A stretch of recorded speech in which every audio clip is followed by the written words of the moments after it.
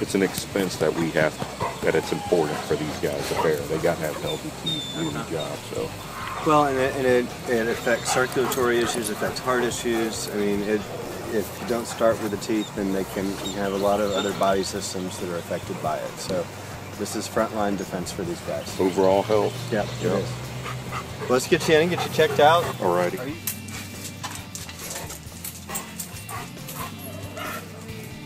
Good looking man, answer.